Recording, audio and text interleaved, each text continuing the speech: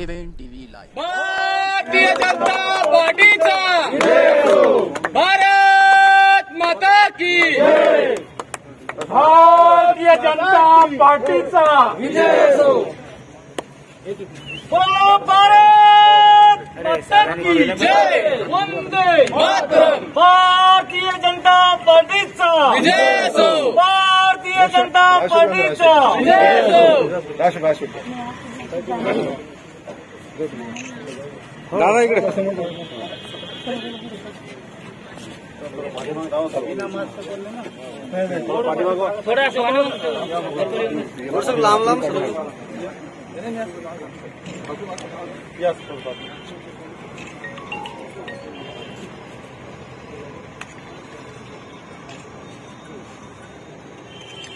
भारतीय जनता पार्टीचा.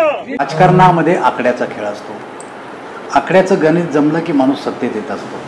मला असं वाटतं की जेव्हा कधी आकड्याचा खेळ जमेल तेव्हा कोणताही राजकीय पक्ष सत्तेत येऊ शकतो.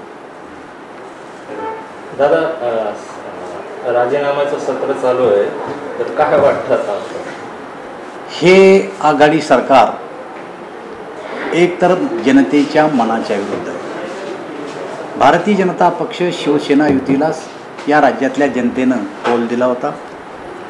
परंतु भाजपला धोका देऊन काँग्रेस आणि राष्ट्रवादी काँग्रेसची युती करून या राज्यातलं सरकार स्थापन झालेलं आहे. हे सरकार जनतेच्या पसंतीचं तर नाहीच नाही परंतु जनतेच्या पसंतीचे कामं करत नाही.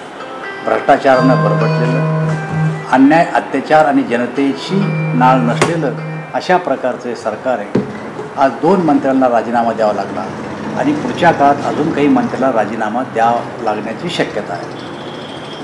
दादा कोरोनाच्या काळामध्ये रुग्णांना हॉस्पिटलमध्ये जा ॲडमिट करण्यासाठी खाजगी हॉस्पिटल डिपॉझिट मागतात. राज्यात हे काय चाललं मला असं वाटतं की सरकारने याच्याकडे लक्ष दिलं पाहिजे या देशातली जनता अत्यंत गरीब आहे. आणि जवळपास चार लाखापेक्षा जास्त पेशंट या राज्यामध्ये. प्रत्येक जिल्ह्यामध्ये पेशंटचा आकडा वाढतो आहे आणि अशा परिस्थितीमध्ये सरकारनं लक्ष ठेवून कुठल्याही हॉस्पिटलमध्ये सरकारच्या मान्यतेपेक्षा जास्तीचा चार्जेस लावता कामा नये याची काळजी घेतली पाहिजे. आणि त्यातल्या त्यात या राज्याचे आरोग्यमंत्री राजेश टोपे त्यांनी आपल्या जिल्ह्याकडेही लक्ष दिलं पाहिजे की मृत्यूदर वाढतो आहे पेशंट दिवसेंदिवस वाढत आहेत खबरदारीचा उपाय म्हणून प्रशासनाने सर्व काही ज्या काही सर्व काही सरकारची ताकद आहे ती पणाला लावली पाहिजे बेड उपलब्ध करून दिले पाहिजे ऑक्सिजन उपलब्ध करून दिला पाहिजे आणि व्हेंटिलेटरची जी कमतरता ती त्वरित पूर्ण केली पाहिजे. याचबरोबर जे निवासी डॉक्टर्स आहेत ते संपाचा इशारा देत आहेत त्यांना सुविधा मिळत नाही त्यांना पगार मिळत नाही हा पण एक मोठा नाही. मला मी आपल्याला सांगितलं की हा सरकारचा दोष आहे. सरकारनं त्यांच्याशी चर्चा करावं त्यांचे काही प्रश्न असतील तर सोडवले पाहिजे.